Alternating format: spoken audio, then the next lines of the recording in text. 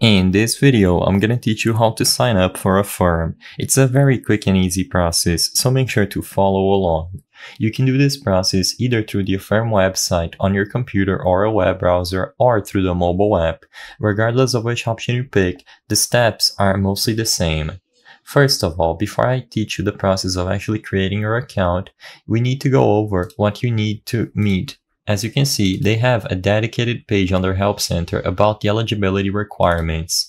As you can see, Affirm customers must be a resident of the US, including US territories, be at least 18 years old or 19 if you're a ward of the state of Nebraska, have a social security number, and own a valid and legitimate phone number or email.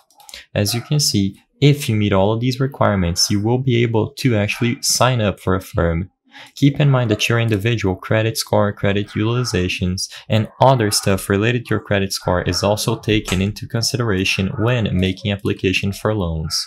As long as you meet these requirements and you are willing to improve your eligibility, as you can see by doing all these steps, you will be able to sign up by simply hovering over the sign in button and select create account.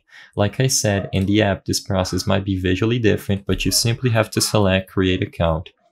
Immediately, you will be able to input a mobile phone number. Like I said, this needs to be a valid phone number that you can prove it's yours. So make sure you are able to receive SMS and you are able to approve. As long as you approve the request, you will be able to proceed with the creation of your account by including your name, credentials, and other important personal information.